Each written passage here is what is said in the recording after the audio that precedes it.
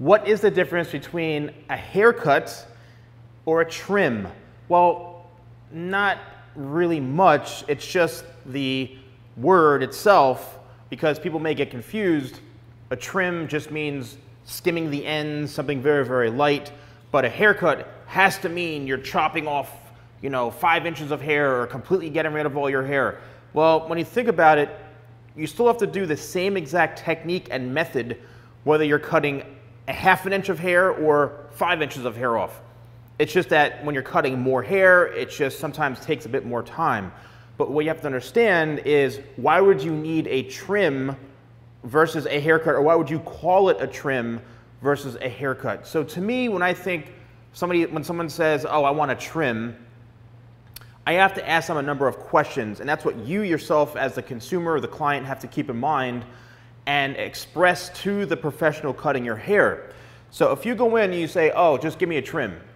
Well, I've had people tell me just trim it, and then after I'm done, they're like, oh, actually, can you cut it shorter? I'm like, you gotta be kidding me. I spent a whole hour cutting your hair and trimming it, like you said, and now you want me to go back and do the whole thing all over again? Get out! so, what you have to really, really convey and, and express to us and let us know is that how much hair really do you want to cut off? What type of look are you going for? How long do you want your hair? How long is your hair right now? Just, you can't leave us in the dark or leave us hanging by saying, I just want a little bit off, but meanwhile, you want like your head shaved, but then you're saying, oh, just give me a trim. So, for example, this haircut right in through here. So, say your hair is this long, you love the length, and you want to keep it as such, and you're like, you know what, just clean it up.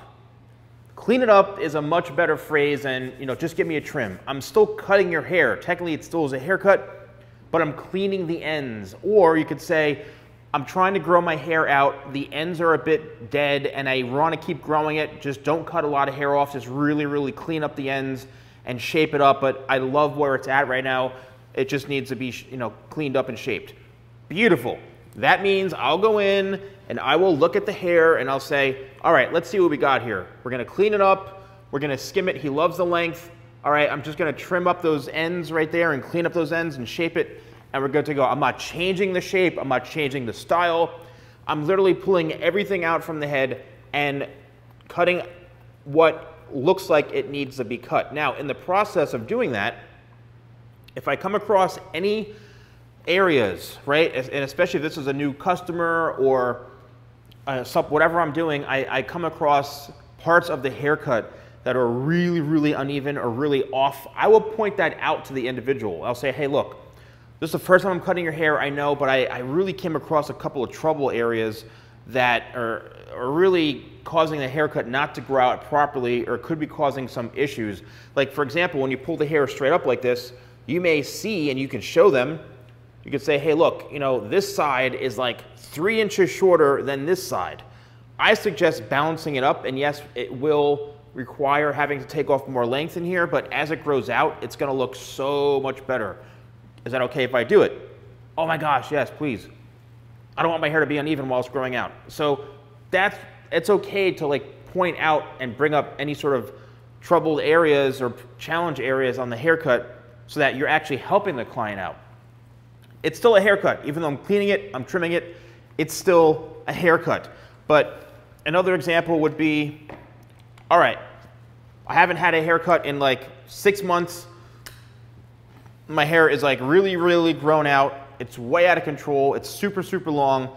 I want I want to, I need a haircut. Then I would say, okay, so are we going to completely get rid of a lot of this hair? Like, do you like super short haircuts? Is this something where like you never want your hair this long ever? You, we're looking at like more of a messy textured spiked look. You want to slick it back. You want the, bu- the sides buzzed. Like you want, you know, and that's where you may say, do you have any sort of, you know, images or things you like about your haircut? Or can I see some of your older images of, of the haircut you liked? And then that's when you can take it from there. So this, this may turn into a full haircut where the word trim is not mentioned, cleanup is not mentioned, but like I need a legit haircut. My hair is a mess right now. It's way out of control. I haven't cut my hair uh, since quarantine, and I usually, you know, wear a spiked hairstyle. All right, in my mind, then I'm thinking to myself, okay, this guy, or this woman, whatever, needs a massive, massive haircut. This is a big job right here, so I'm gonna make sure I'm gonna cut the hair. So after I spend an hour cutting it, it's not like I have to recut the whole damn thing all over again.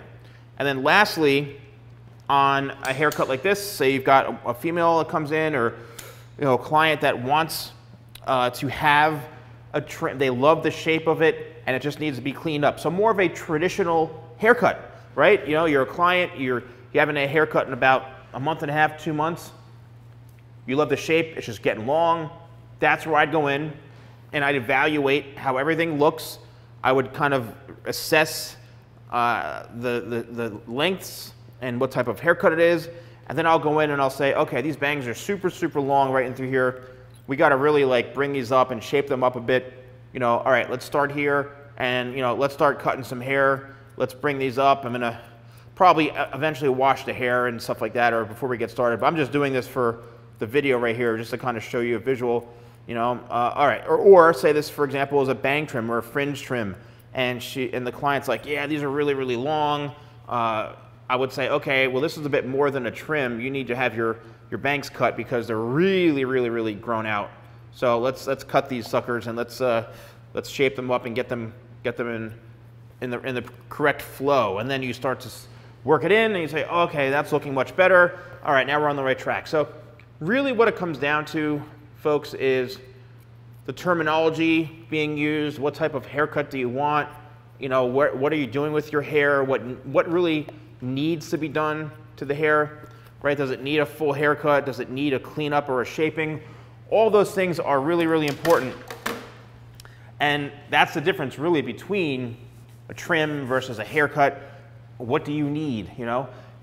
So if you are interested in buying any of my products, if you go to shop.thesalonguy.com and use code YouTube20, that's YouTube20, it's an exclusive code for everyone here. I've got blow dryers, brushes, scissors, products, uh, all sorts of great things that will be helpful. You get 20% off, and if your order value is over $50, you get free shipping in the United States. Please let me know if you found this video helpful. Thanks for watching, and I'll see you soon.